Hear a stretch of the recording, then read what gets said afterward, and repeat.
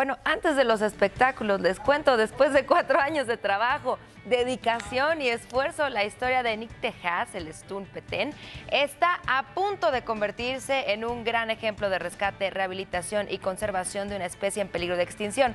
Y es que dos hembras de jaguar regresaron a la selva donde comenzará la adaptación a su nuevo hogar. Fueron trasladados desde Oaxaca en un avión de la Secretaría de Marina Armada de México. En unos minutos más hablaremos de la posible extensión del permiso de paternidad en la Ciudad de México. No se mueva.